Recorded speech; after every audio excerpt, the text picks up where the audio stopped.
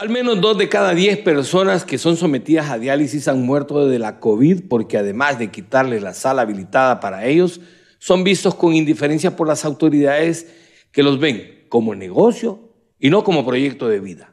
Para el caso, en el Seguro Social ni medicamentos les quieren dar, lo que los obliga a luchar de por sí frente a una grave enfermedad para preservar sus vidas.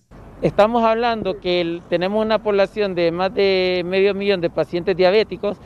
Este medio millón de enfermos diabéticos, la mitad puede ser enfermedad renal, pueden caer a la insuficiencia renal. Entonces a ellos no les interesa la vida del enfermo renal. Lo que les interesa a ellos es vender una mala calidad de servicio que dure uno, dos, tres años, que fallezca el paciente porque tampoco son de calidad los servicios de hemodiálisis que brinda en nuestro país.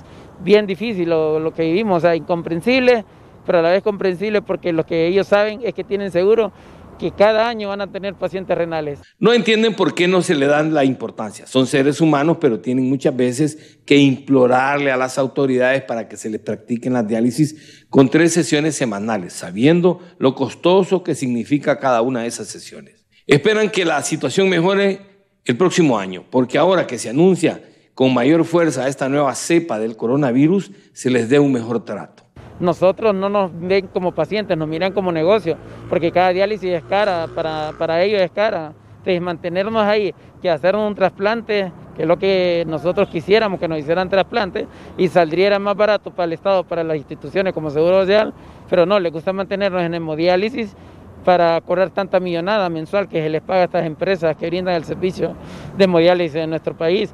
Entonces no entendemos si somos negocios, ¿por qué nos abandonan?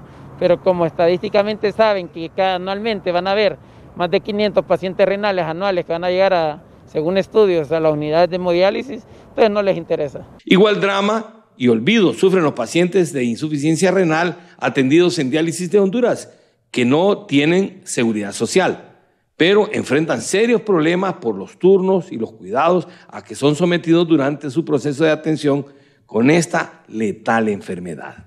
Desde Tegucigalpa para Telenoticias, Eduardo Valdés en cámaras y Marvin López Uccini. Les